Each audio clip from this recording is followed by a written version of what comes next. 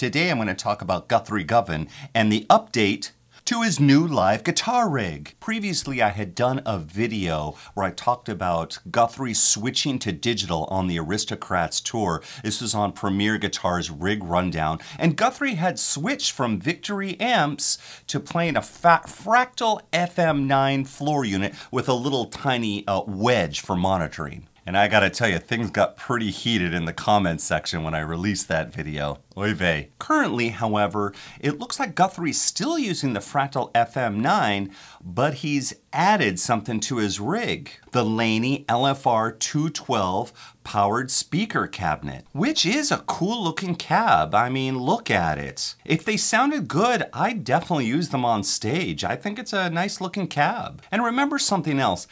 Tony Iommi from Black Sabbath has been using Laney amps and cabinets for years and years, so I don't even question the quality of the speaker cabinet. Also looks like Guthrie may be in stereo because the recent picture shows him with two of these Laney 2x12 cabinets. On Guthrie Govan's Instagram, which is where I found out about this by the way, Guthrie states, Everyone is loving the sound, and I'm getting more of that real cab experience than I've ever had before with a digital modeler. Finally, proper feedback. Yes! Yes! Yes! This is what I feel modelers have been missing that synergy, that symbiosis between the guitar and a real amp and speaker cabinet to get that controlled feedback. That feedback that just is ready to unleash and go nuts and it just feels so good it just it makes you damn happy to be a guitar player to experience something like that if you haven't oh you just need to once in your life experience that kind of power and Guthrie is saying this is more like a real cab experience and he says proper feedback Wow, that is really something. Something that I think digital modelers have been missing, that there's some strange disconnect between the digital modeler and what you are monitoring, especially if you're only if you only have in-ears.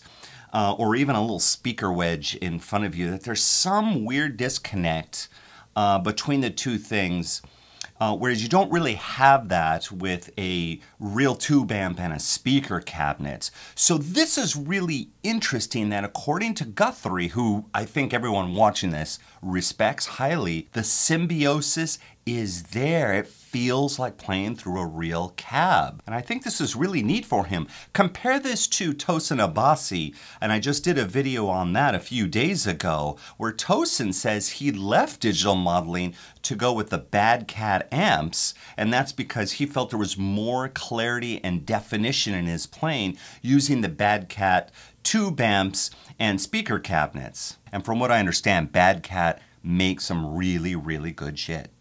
But I want to open this up to comments from all of you. What do you think about Guthrie's comment here where he says using these Laney cabs with the fractal gives him a little bit more of the real cab experience and that he's actually getting proper feedback. And if you're someone who's played tube amps for years and you know about that synergy, that proper feedback that you get playing electric guitar that makes it just so amazing of an instrument, and you've also played modelers for quite some time. What do you think about um, getting this kind of proper feedback and symbiosis like what Guthrie is saying? I gotta tell you, I haven't used modelers in a live performance. I have used some amp plugins, and I do think they sound good. But in a live performance, this is a different story. Uh, for my upcoming live shows, I am going to be using a real tube amp and speaker cabinets.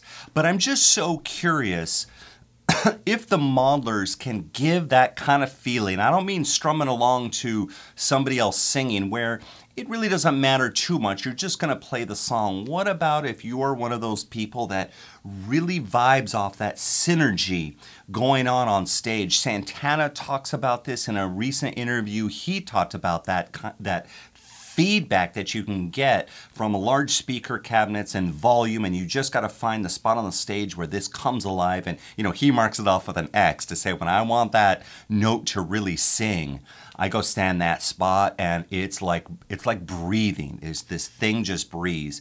And I have a feeling that modelers have been kind of missing that breathing that uh, can only happen with good tube amps and of course good players help as well. So I want to hear from you. Let me know in the comments. Like this video, share it with some of your friends. I really want to get this discussion going on the digital modelers in this respect because this is huge that according to Guthrie, he's doing more than just putting up with a modeler. He's actually able to get it to react even closer to sitting with a real cab and real amp while he's playing live. Music, music, music! That's what this channel is about. But I've always felt that as a society, we are not getting enough music in our daily lives. And I don't mean just singing along in the car or streaming songs or occasionally picking up an instrument. I mean putting musical aspects in our daily life no matter where we are or, what we're doing. So I want to give you something. I want to give you my free ebook called How to Put More Music in Your Life. It's going to give you 10 different ideas of how to put more music in your daily life.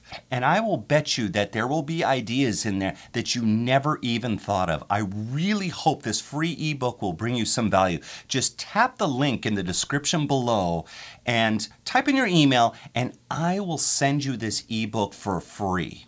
Again, I hope it brings you a ton of value and increases your quality of life through music.